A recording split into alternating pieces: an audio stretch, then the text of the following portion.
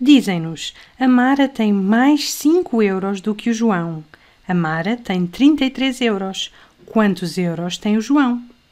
Para resolvermos isto, vamos começar por usar letras para representar a quantidade de dinheiro que cada um deles tem. Vamos usar para a Mara a letra M e para o João vamos usar a letra J.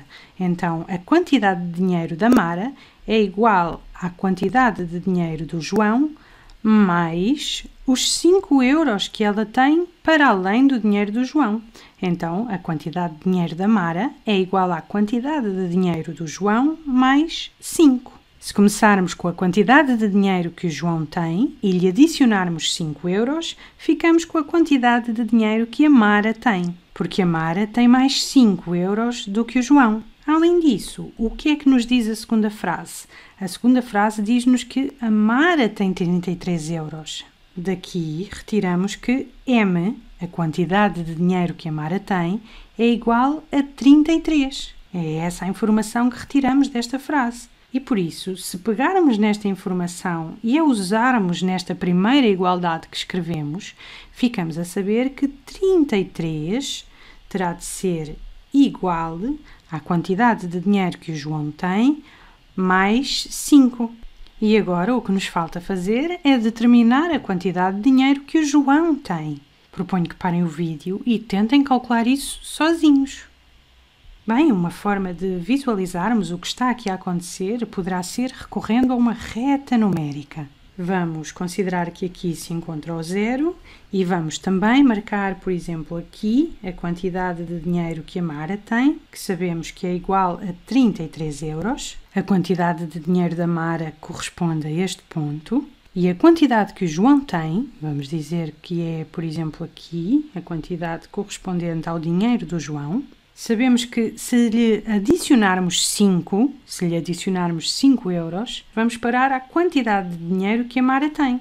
Se a este valor correspondente à quantidade de dinheiro que o João tem adicionarmos 5, vamos parar à quantidade de dinheiro que a Mara tem. Se começarmos em J e adicionarmos 5, vamos parar a M, vamos parar a 33. Então, sabendo isto, como é que eu posso, começando no M, começando em 33, ir parar a J, ir parar a quantidade de dinheiro que o João tem? Aquilo que precisamos de fazer é deslocarmos ao contrário do que fizemos aqui. Vamos começar na quantidade de dinheiro que a Mara tem e vamos recuar 5. Vamos subtrair 5 euros à quantidade de dinheiro que a Mara tem e vamos parar à quantidade de dinheiro que o João tem. Portanto, podemos calcular 33, a quantidade de dinheiro que a Mara tem, e subtrair-lhe 5 euros.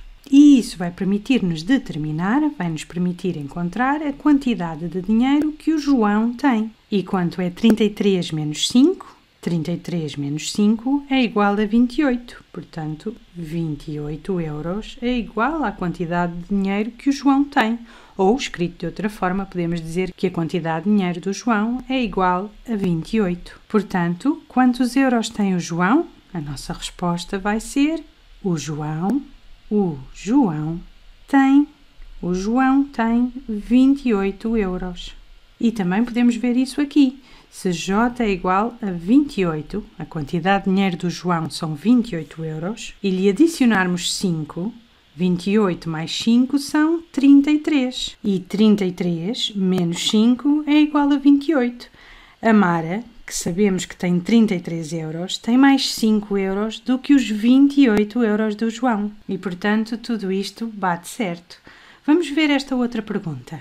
Aqui dizem-nos: a casa da Júlia fica cinco vezes mais longe da escola do que a casa da Paula. A casa da Júlia fica a 15 quilómetros da escola. A que distância da escola fica a casa da Paula? Mais uma vez, proponho que parem o vídeo e tentem avançar sozinhos. Procurem perceber que informação cada uma das frases vos dá e utilizem letras para representar a distância da casa da Júlia à escola e a distância da casa da Paula à escola. Bem, mais uma vez, vamos recorrer à primeira letra do nome de cada uma das pessoas. Aqui vamos usar um J para representar a distância da casa da Júlia à escola e vamos usar um P para representar a distância da casa da Paula à escola. E dizem-nos que a casa da Júlia fica cinco vezes mais longe da escola do que a casa da Paula. Portanto, a distância da casa da Paula à escola multiplicada por 5 vai corresponder à distância da casa da Júlia à escola. Por isso, podemos escrever, por exemplo, que P, a distância da casa da Paula à escola, vezes 5, vezes 5, vai ser igual à distância da casa da Júlia à escola. A casa da Júlia fica 5 vezes mais longe da escola que a casa da Paula. P representa a distância da casa da Paula à escola e J representa a distância da casa da Júlia à escola.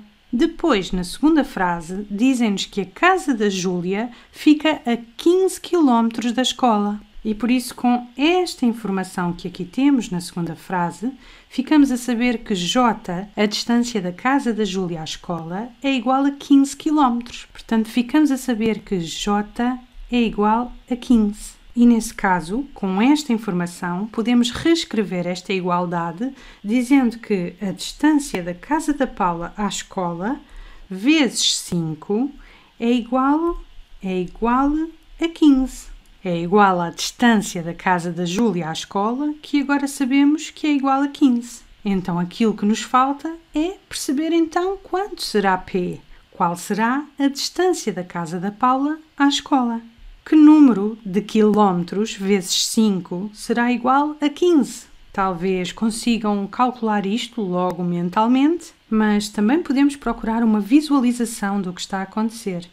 Vamos traçar aqui uma reta numérica, vamos marcar aqui o zero e vamos dizer que aqui, por exemplo, fica a distância da casa da Paula à escola. E se multiplicarmos esta distância por 5, vamos encontrar a distância da casa da Júlia à escola. Então, temos aqui uma vez a distância da casa da Paula, duas vezes, três vezes, quatro vezes, cinco vezes. Reparem que o que temos aqui é uma vez a distância P, outra vez a distância P, mais outra vez a distância P, mais outra vez a distância P e mais outra vez a distância P. Então estamos a dizer que a distância daqui até aqui corresponde a P mais P mais P mais P mais P, ou podemos dizer também que a distância daqui até aqui corresponde a P vezes 5. P 5 vezes. Temos aqui 5 vezes a distância P. E P vezes 5 é igual a J, é igual à distância da casa da Júlia à escola. E essa distância sabemos que corresponde a 15, a 15 quilómetros.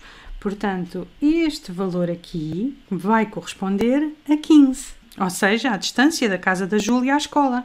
E agora falta-nos perceber a que distância corresponde cada um destes P's. Ora, se temos aqui 5 P's para chegar a 15, aquilo que vamos fazer é pegar no 15 e dividi-lo por 5, ficando a saber a quanto corresponde cada uma destas distâncias. Vamos pegar no 15 e dividi-lo em 5 grupos iguais. Vamos dizer que o P é igual a 15, é igual a 15 a dividir por 5. Se pegarmos nos 15 km e os dividirmos em grupos de 5, ficamos a saber a quanto corresponde o P, a quanto corresponde a distância da casa da Paula à escola. Então, o P é igual, quanto é 15 a dividir por 5? 15 a dividir por 5 são 3. Estamos a dizer que isto corresponde a 3, aqui a 3, 3, 3, 3 e 5 vezes o 3 corresponde a 15. Estamos então a dizer que a casa da Júlia, que fica a 15 km da escola, fica 5 vezes mais longe do que a casa da Paula, que fica a 3 km da escola. E portanto, a que distância da escola fica a casa da Paula? A nossa resposta será a casa da Paula a casa da Paula, a casa da Paula fica, fica a 3 km da escola. Fica a 3 km da escola. E terminamos.